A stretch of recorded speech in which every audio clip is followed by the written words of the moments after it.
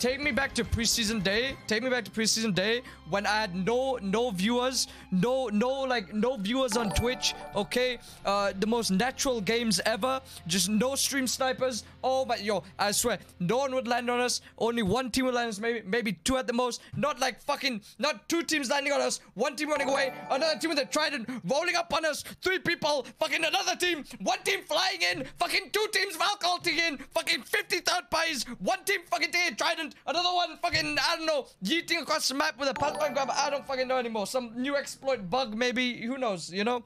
I don't know what this game is. what, what is this?